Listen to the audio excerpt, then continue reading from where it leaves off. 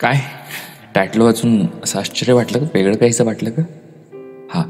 आणि हा हे जे मी सांगत आहे किंवा टायटलला जे दिलं आहे ते मी माझ्या मनाचं नाही सांगत आहे.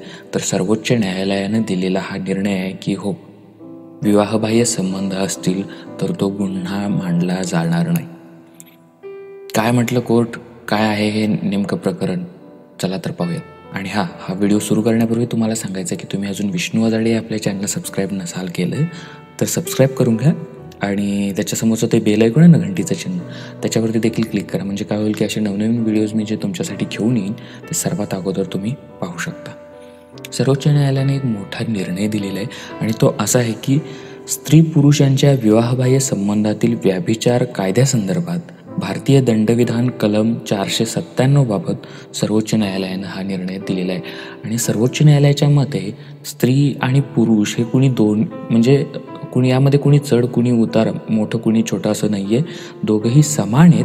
त्यामुळे आपल्याकडे असतं ना की मेंटॅलिटी आपण की स्त्री ह्या पुरुष हा स्त्रीचा म्हणजे जो नवरा असेल तो तिचा मालक असतो.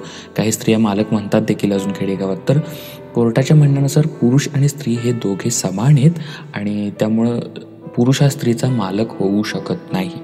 आणि हे सांगत असतानाच माननीय न्यायालय पुढे असं म्हटलंय की त्यामुळे व्याभिचार हा शब्द त्यांनी वापरला खरं तर व्याभिचार किंवा विवाहबाह्य संबंध हा गुन्हा आपण म्हणू शकणार नाही.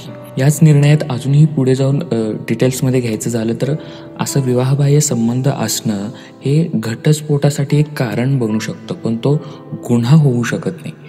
असंही या निर्णयामध्ये म्हटलेलं आहे. आणि त्याच्या पुढे जाऊन म्हणाल तर व्याभिचार हा गुन्हा नाही मात्र या कारणाने जर तुमचा पार्टनर आत्महत्या केली ओके? म्हणजे व्यभिचार किंवा विवाहबाह्य संबंध हा गुन्हा नाही आहे पण या कारणानं जर तुमच्या पार्टनरने आत्महत्या केली तर त्याला आत्महत्या करण्यास प्रवृत्त केल्याबद्दल तुमच्यावर गुन्हा दाखल करता येऊ शकतो.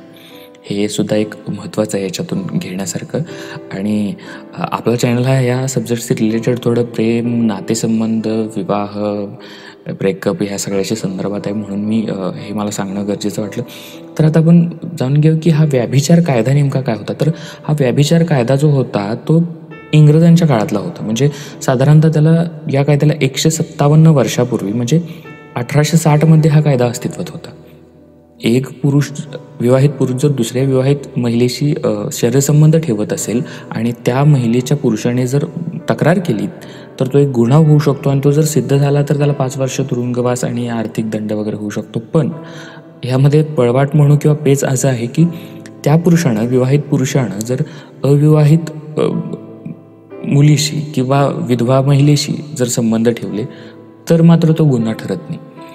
आणि ह्याच कायद्यासंदर्भात एक मोठा निर्णय आज हायकोर्टानं घेतलेला आहे की व्याभिचार हा गुन्हा नाही. म्हणजे विवाहबाह्य संबंध ठेवणं हा गुन्हा होऊ शकत नाही. ते फक्त घटस्फोटाचं कारण होऊ शकतं. गुन्हा होऊ शकत नाही.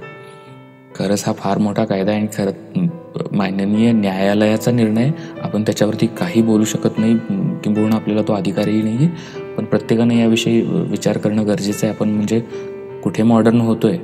इतकं मॉडर्न होणं गरजेचं आहे का? आणि याचे काय पुढे काय परिणाम होतील खरंच खूप विचार करण्यासारखी गोष्ट आहे. तुम्हाला या कायद्या संदर्भात काय वाटतं? तुमचे काय मत आहेत? हे असं व्हायला हवं होतं नको होतं?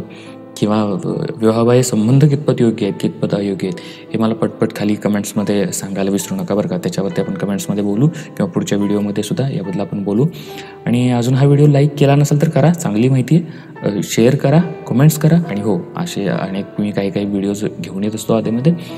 सो ते व्हिडिओ सर्वात अगोदर तुम्हाला पाहण्यासाठी विष्णू हजारडे आपल्या चॅनलला पहिला सबस्क्राईब करा आणि सबस्क्राईब बटनासमोरचं ते बेल ऐकून आहे ना घंटीचं चिन्ह त्याच्यावरतीही क्लिक करा. म्हणजे असे नवनवीन व्हिडिओज मी जे तुमच्यासाठी घेऊन येईन ते सर्वात अगोदर तुम्ही पाहू शकता. चला आज इथेच थांबतो. Tata bye take care